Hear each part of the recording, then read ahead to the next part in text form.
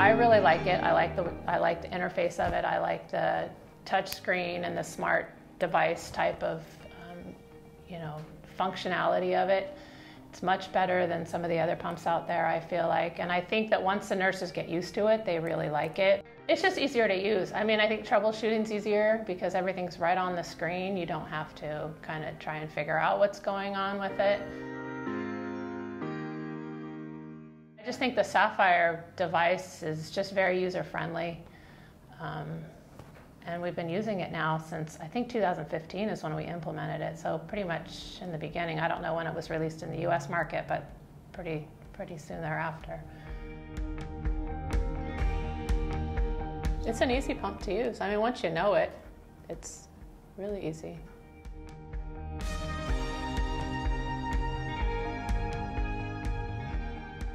Not always. I have some champions, and I've had uh, some success in training some people to be, you know, trainers of the pump at the organization.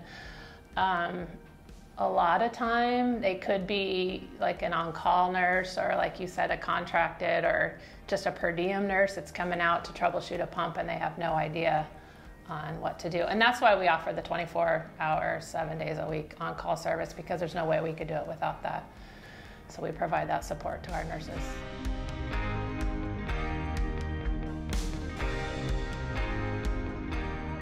I mean, I don't, not familiar with the way that, you know, Oso Pharmacy is another local pharmacy um, that provides hospice services, but because it's sterile compounding, there's not a lot of pharmacies that do that. Um, and we have kind of created our own niche in hospice. So we kind of try and do an all inclusive. We're not only providing the infusion, but we're doing the oral drugs and we do non sterile compounds too. So that's kind of why they come to us because we can provide everything for the hospice patient.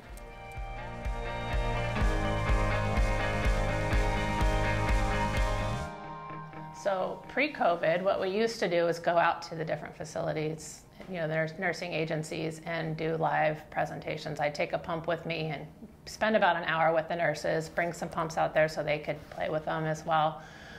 Um, but the, I think the problem is, is that those nurses that were being trained weren't using the pump every day. So it might be six months until they see that pump again. So, you know, there's there's that uh, loss of information between that those two time points.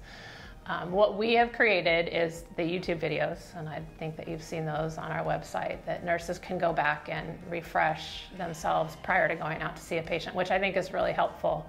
Um, if they're just changing a bag, what do they do? So they can go see that two minute video and they can, you know, get a refresher and then go out and, and do that.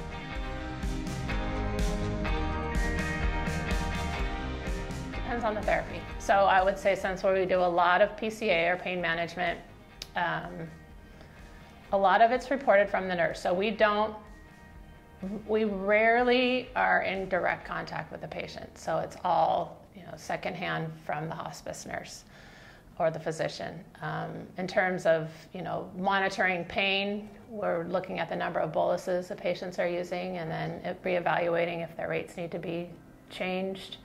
Um, monitoring signs and symptoms of pain too. Um, for other treatments such as antibiotics, we're looking at labs just to figure out, you know, if the uh, therapy is appropriate for each patient and then making modifications if we need to.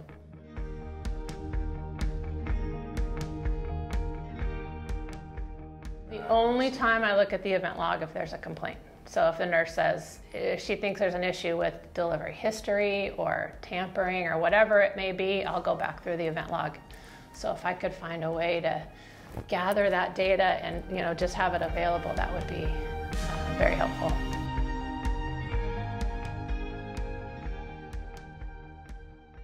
Well, it is a burden because it's very timely. I mean, I could have to go, you can imagine every alarm that goes off in a 24 hour period, it might be hundreds of, you know, different bolus push, bolus not delivered, or, or whatever it may be. That each line, you know, it's, it's very time consuming. So that, that is troublesome, um,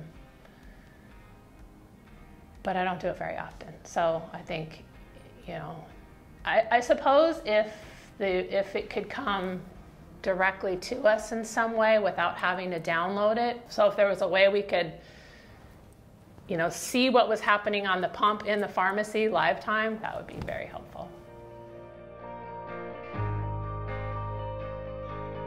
I, I do. I am a one-man show. If you, if you didn't know that already, um, I have a very good infusion tech, but he is very limited in what he wants to get involved with.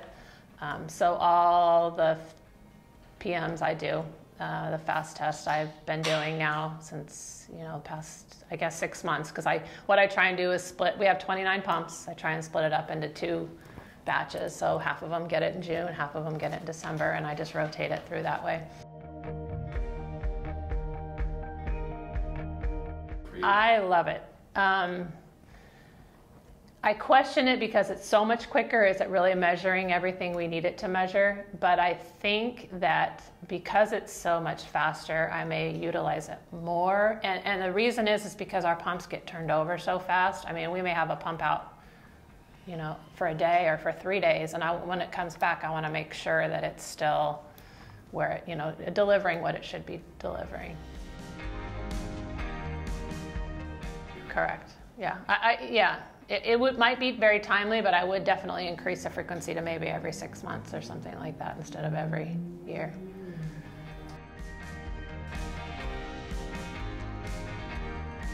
My tech tracks the pumps for me, so that's his job to, you know, once patient passes or is discharged, they, he will retrieve those pumps, and that's very difficult too. So, retrieving a pump that is leads me into another um, area if we had some kind of tracking device on those pumps. And I know that our owner has thought about that, about putting some kind of a GPS on the pump. Um, it's kind of been discussed and then dismissed, I think, due to the expense. But we have had lost pumps over the course. We've probably had at least a dozen pumps that we've lost, or yeah. Uh, hospice is responsible for the loss of those pumps. We've even had a pump that was never removed from a patient and was incinerated when he was cremated. I think in today's day and age, we don't need to use batteries if we can recharge them. You know, it just they, it's just it's just a learning thing that they need to get used to doing.